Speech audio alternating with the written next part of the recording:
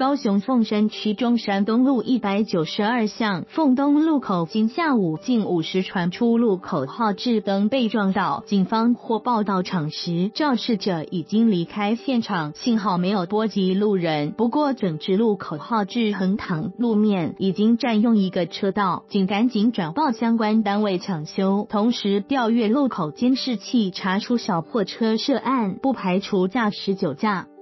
凤山警分局成功所表示，小货车当时行经中山东路一百九十二巷，欲左转凤东路，不知何故一次失控，直接撞上对向路口号志灯杆，也有可能勾到电线扯断号志，但小货车驾驶竟没停下查看，驾车逃走。